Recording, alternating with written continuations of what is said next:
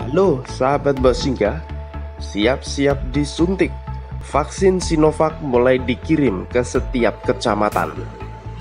Setelah kedatangan vaksin Sinovac dari pemerintah Provinsi Jawa Timur beberapa waktu yang lalu pada 26 Januari 2021, gugus tugas Kabupaten Blitar, Jawa Timur segera mengambil langkah cepat untuk mendata seluruh tenaga medis yang mengikuti vaksinasi.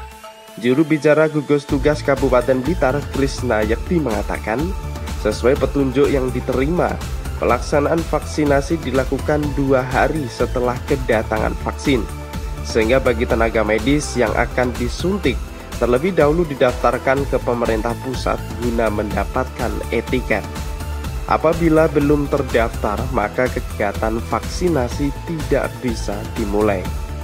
Menurutnya, sejak kemarin vaksin Sinovac di-dropping ke masing-masing puskesmas Kabupaten Blitar. Setelah selesai, setiap puskesmas berhak mendata tenaga kesehatan yang akan mengikuti vaksinasi. Karena pemerintah pusat memberikan tenggang waktu sampai akhir Januari, semua tenaga kesehatan harus sudah divaksin.